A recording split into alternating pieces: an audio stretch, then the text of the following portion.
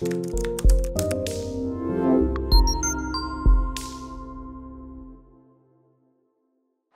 Hi, this is Highbridge Caravans Devon branch and on this very chilly and increasingly dark January day we're doing a walk around video on this very very rare uh, not particularly chilly or dark Wildax Aurora. So this is a Wildax Aurora. It's based on a 6 metre Citroen Relay chassis. It's a late 2010 on a 60 plate.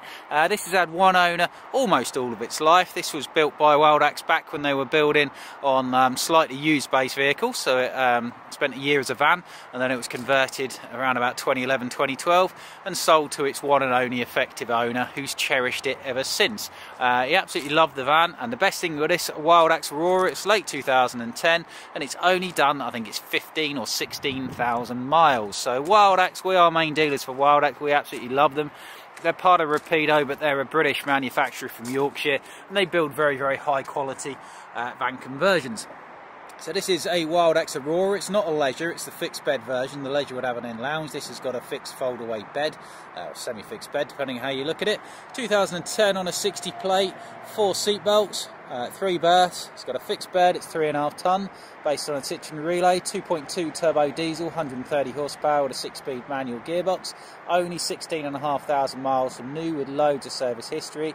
Just under six metres long, 2.2 wide or 2.05 not including the wing mirrors and it's priced at 33,995 and that will include a new MOT, a full engine service, a full habitation service, a full valet, 12 months warranty. We're going to black up the bumpers that have turned a bit grey and we're either going to refurb or put some nice wheel trims on the wheels which always get a little bit crusty. Apart from that it's a very very nice van so let's have a little walk around the outside. So this is in sky blue metallic. Um, it's got a factory fitted uh, Pro Store, I think, a Pro Store canopy awning uh, up there, which you could use to attach a driveway awning as well, or add sides in the front to, or it's just a sun canopy as is. Double glazed windows all the way around. Wildaxes are set up for those who want to go away long term off hookup in the winter time, so you've got proper double glazed windows all the way around. You've got an electric step down there. These are flush fit windows as well. These are clear ones on this one. Um, fridge vent for your three-way fridge freezer. Now the only sort of fault on this van that we can't really do much about, it's only cosmetic, and it's this scrape here. You can't see it when the sliding doors open. It's in the middle of a panel. I doubt there's anything we can do about it. It is just cosmetic. You can put a sticker over it if you want, something like that. Um, freshwater fill up point there you've got underslung fresh and wastewater tanks but they are heated as standard so like a winter pack as standard from Wildax um, Coming around to the back of the van, we've got a high level reversing camera in the brake light up there. I think there is, yeah. Uh, can't quite see it, but there is. There's a reversing camera up there. We've got rear windows for your rear bedroom, a handy tow bar with which you can uh, put bikes on there if you wanted to on a bike rack. If we open up the back, we'll see the big selling point of this van. Now, at the time, fixed bed van conversions were still a bit of a novelty in this country. Now they dominate, everybody wants them. But back in 2010, you didn't see them so much, and it's taken the British manufacturers, or most still haven't fully grasped the benefits of it. And the benefits of a fixed bed are both that you can have a nice comfortable bed, but also you've got all this storage space underneath. Now the difference between how Wildax do this and anybody else, and this is why this is a bit of a niche model um, with a, a, definite sort of um, positives to some people, is Wildax use an underslung gas tank. They've put the heating system further forward in the van, and that means this is all empty under here. If you look at all the competitors for this, like the uh, Adria Twin, for instance, the Globecars, the Rapidos, the Dreamers, they'll have water tank boxed in down here they'll have gas locker there and they'll have boiler there so half your space is taken up whereas on this it's completely empty so you've got loads and loads of storage space and also this bed mechanism as you can probably kind of tell you can fold away and strap up to that seatbelt clip up there and that gives you a completely empty space which is such a great thing for putting bikes or a moped or the mother-in-law or a grandfather clock, a Christmas tree, surfboard, you name it. You've got all that as loading space with the bed folded away. So it makes a great day-to-day -day vehicle and sporting vehicle and it's got the biggest rear load area of anything I can think of outside of a sort of brand new Adria Twin SGX which are about 75,000 so uh, very very good all the panel works properly nicely done um, clip-on table which goes at the front but can also be clipped on outside. Uh, concertina blinds and fly screens on all the windows as well. So it's all a nicely built van. So in a layout that's just a little bit different. We're coming around the driver's side, apart from that sort of scuff just after the sliding door, bodywork's all really good. You've got digital TV aerial on the roof. We've got the flue for your gas and electric, Truma Combi, water heater and blown air heating system. Mains hook up there and a gas tank fill up point. So this will have a underslung gas tank that will be anywhere from 20 to 30 kilograms underneath. So instead of using gas locker, which takes up some of your underbed storage, uh, this one's got a gas tank and you fill it up with LPG at a um, petrol station, basically at the LPG gas pump. There are 600 LPG filling places in the UK and tens of thousands of them all across Europe. Plus side to this is it's much cheaper to fill up, you've got a much bigger gas capacity and it doesn't save any, uh, use any space on the inside, so good plus sides there. Wing mirrors are electrically adjustable and uh, short arm, so no, no sort of truck style sort of wing mirrors hanging out like on that transit van over there. They're nice and easy down the lanes and simply manually fold in.